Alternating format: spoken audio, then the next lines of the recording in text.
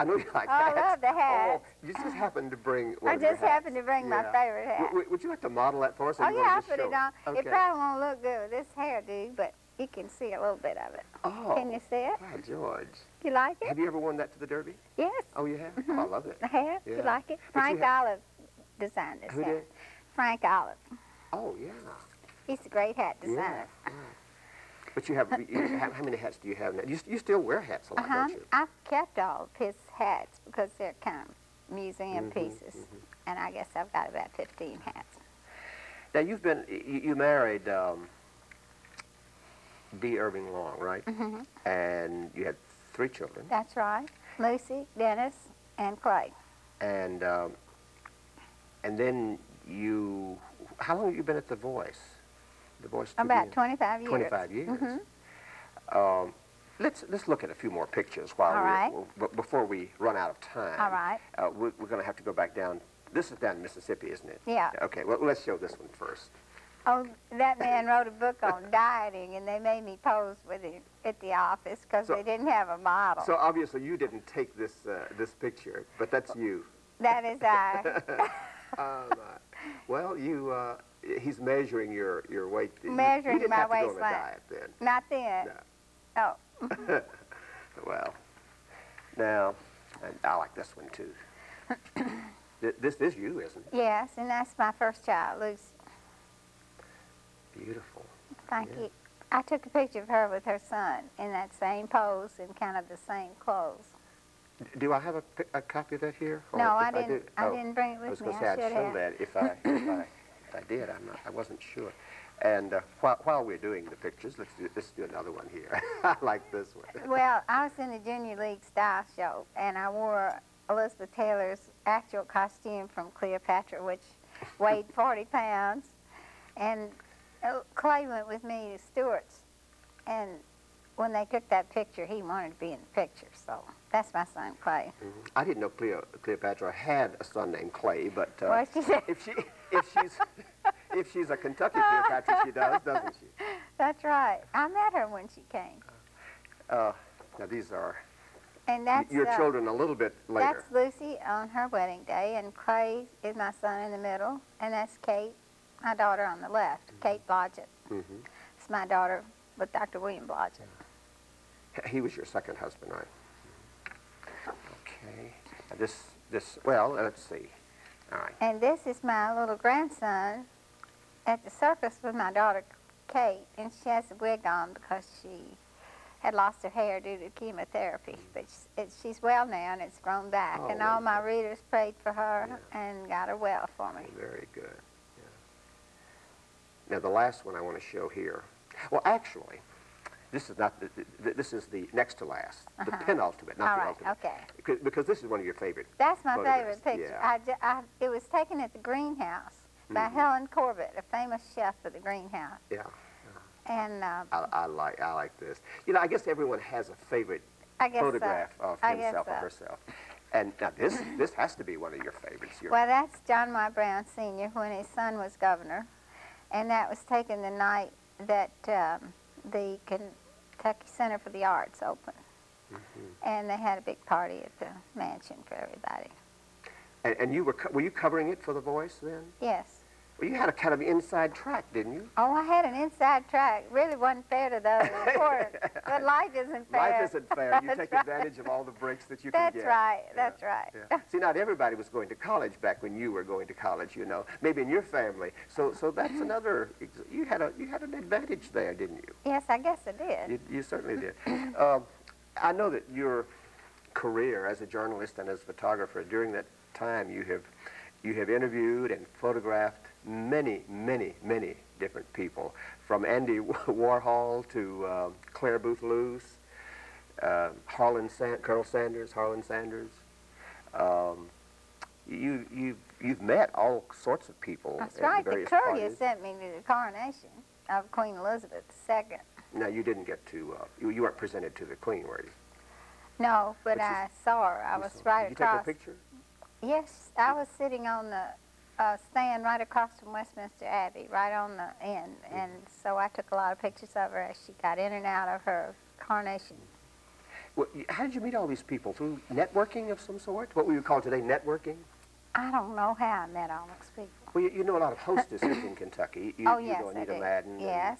and, and Mrs. Uh, Uh, Whitney. Mary Lou Whitney, the way I met Mary Lou, she had her dollhouse here for the Derby, and I was supposed to go over to Lexington and interview her about the dollhouse, and the ice was so bad that I couldn't drive over there, and she said, come Monday. And I was having surgery Monday, so that was Saturday, so I said, well, Mary Lou, I've never belonged to the jet set, but I'm jetting over to Lexington. and I rented a plane Did and you? went to see her, and we were friends ever since. Oh, well. so she's introduced me to Yeah. a lot. Uh, you know, you have a, a, a boldness and a daring that I think has uh, has been an asset throughout your life as, as, a, as a human being and as well as a, as a journalist. Uh, I remember you, you wrote somewhere that uh, you went to the opening of the Ritz Carlton in in uh, in Chicago as a reporter for the, the Voice. Well, I heard they were opening, and I heard it was very exclusive, and so just for fun, I called up the Ritz Carlton in Chicago, and I said, "My name's Lucie Blodgett, and I work for the Voice of St. Matthews, and I want to come up to the opening of the Ritz." And the woman was from the South, Uh, and she thought that was the funniest thing she ever heard. So she invited me up there, uh, and I stayed two days and did everything. how much did it cost you? It cost me five dollars. Five The bill was five dollars. Probably some phone call I made. and you ordered uh, what kangaroo tail soup? Oh soup? well, they they bragged that they had room service night and day, Uh, and that you could order anything in the world any time of the day or night. So I put in an order for kangaroo tail soup. That was on the menu uh, at four o'clock in the morning. So at four o'clock in the morning, this big rap came on the door, and I'd forgotten about it. I went to the door, and this distinguished man had the kangaroo tail soup, copy the Chicago Herald Tribune, and he, and he had uh, a rose on the plate.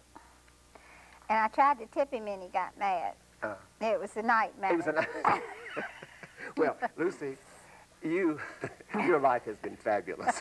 fabulous is Well, the it word. has. Fabulous, because you are a little zany. Let's face it. oh, I'm just but myself. But you're yourself. That's and that's the way you should be. Uh, you know, you're going to have to write your autobiography. Our time is up, but you're going to have to write your autobiography. You must do it. And and I've got a title for you. What? Triumphs and Tragedies. The Confessions of a Southern Belle. Well, that's good. That's a good title. That's a good Now I've done my job. That's a good You title. You do yours. That's you write the title. book. Will you will you think about it? I think I'll call it Constantly Startled by the Obvious. Well, if you like your title better than mine, that's okay. You, you, you may do so. I know that you have loved living in Louisville. I you love the arts community here. I have. You love the people. I and and um, we're, we're so glad that you came up from Mississippi. That's so sweet of you, Wade. You're so thoughtful and nice. I appreciate that. And I, and I want to thank you for being who you are and for enriching so many lives with, with joy. Well, thank you so much. My guest has been social columnist uh, Lucie Blodgett. I'm Wade Hall.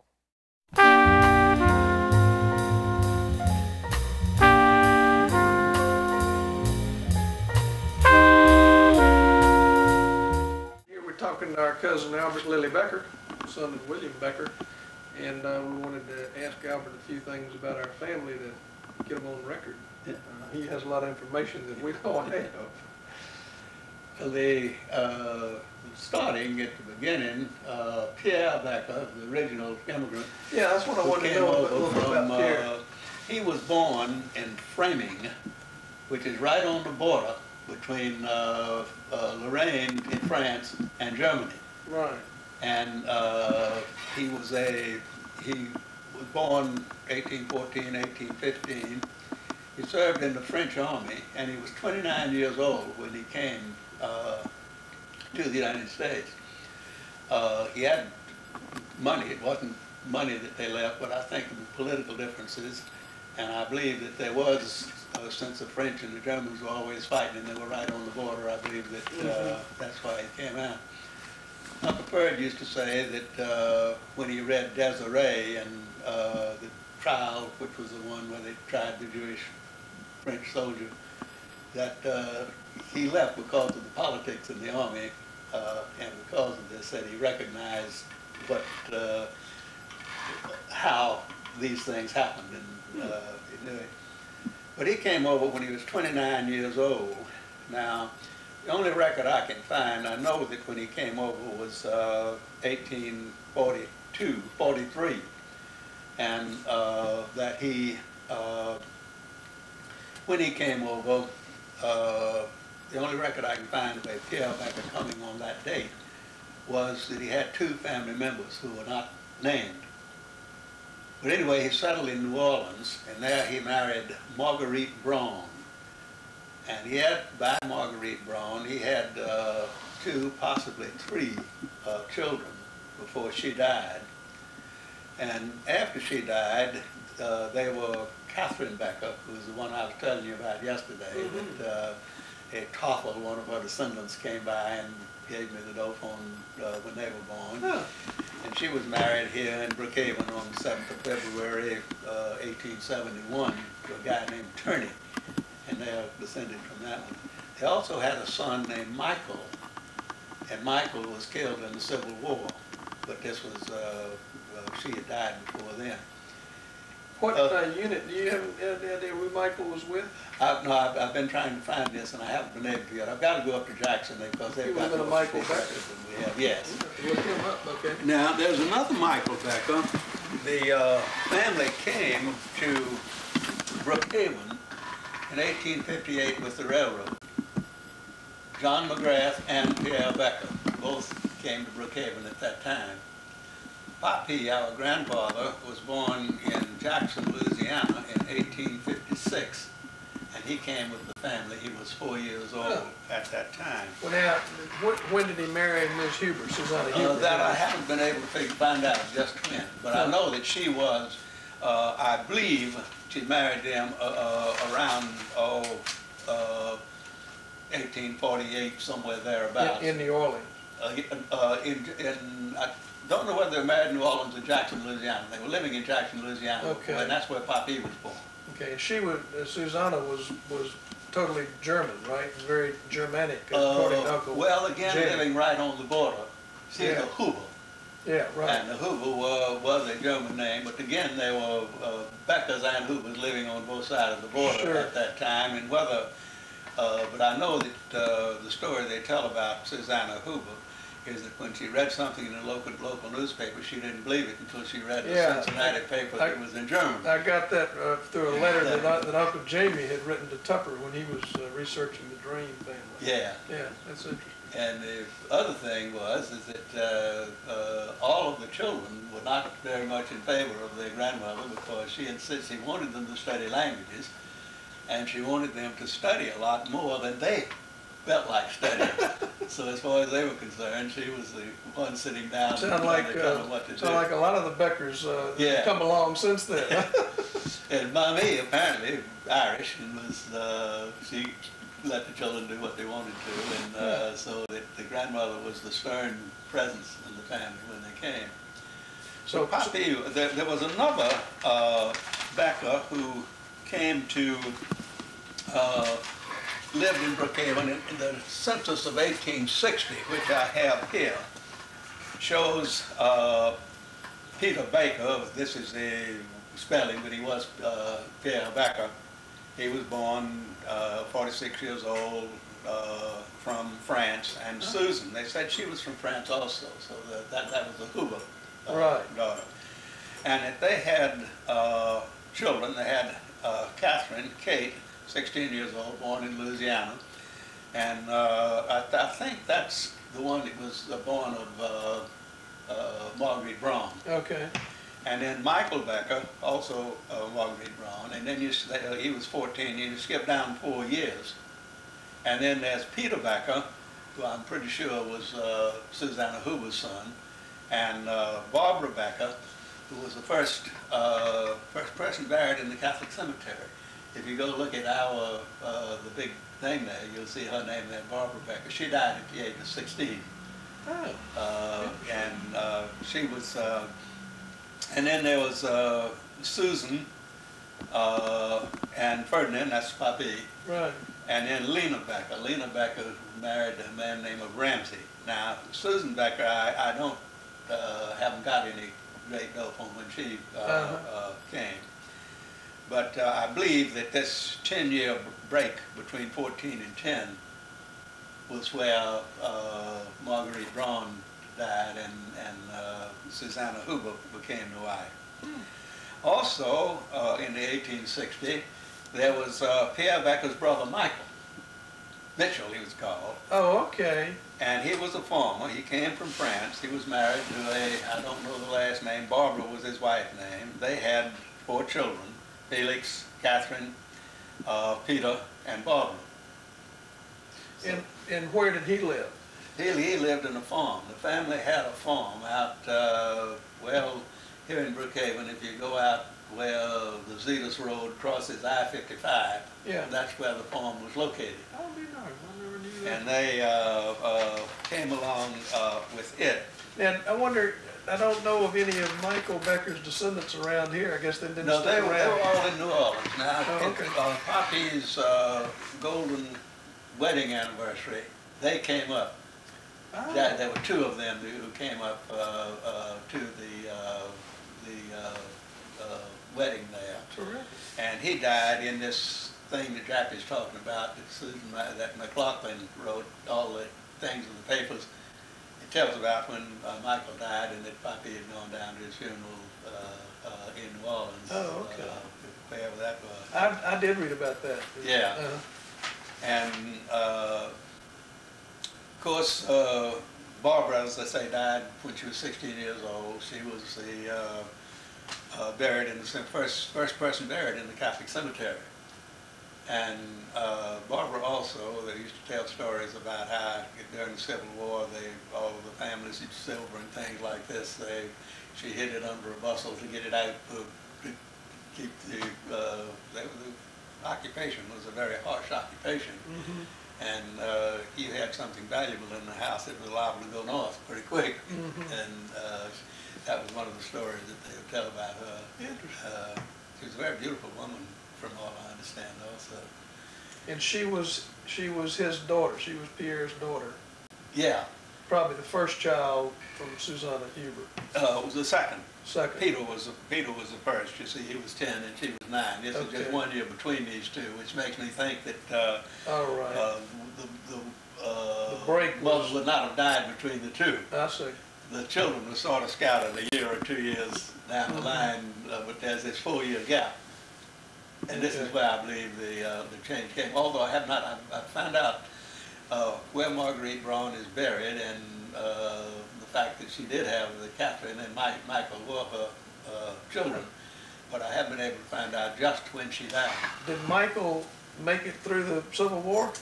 Uh, no, he didn't. Now, now, the, the, the Mitchell, Michael didn't. Mike, Michael was killed during the Civil War. Okay. Now, uh, whether he died of disease or whether he was killed in battle, I Yeah. don't know, but he was uh, of the right age. And he was, uh, and I don't know the unit that he was serving Mhm. with. Would have been a unit probably out of Louisiana. No, they, they were living in Mississippi at the time. Oh, at the See, they came to Brookhaven in 1858. Oh, And the. Civil War started Oh, in sure. 1860, Six- 61. 61, yeah. So uh, uh, they were here at the time. Uh, Well, I've got, I've got a book that I can look that up in. Yeah, Uh, I've got Dunbar Rowland's Military History of Mississippi, yeah. and I've been doing a little research of that, so I'll check that Well, out. I hope you can, if you find it, I, I Oh, I'll, I'll definitely, I'll definitely get it to you. Yeah. Uh, do we know much about what, uh, Pierre Becker did? You know, what, as Yes, far as his occupation? When he first came over, he was a miller in, in France, from the village of Freyming. He was born in Valmont, and we have his passport uh, that uh, has what he looked like. He was uh, uh, five foot five inches tall, fair complexion, noble brow, pleasing. You know, they, were- the French used to describe people instead of fingerprints. They would describe their facial characteristics and their physical characteristics, so we could, could recognize them by that. But uh, Bill had, Mike has the, uh, uh, a copy uh, that Bill had facts. You know, when uh, Mommy died, they divided the family effects up by giving each thing a number and having people pull numbers out of the hat. and what they pulled out was what they got. Uh, what, uh, uh, my dad father got was the passport. He got a big grandfather clock that they had in these bookcases, which were joined together in one. Mama had them cut apart because we didn't have a place to put the so- Yeah. circular one. Uh-huh. But these, But he these got, he got Pierre Becker's passport. yeah.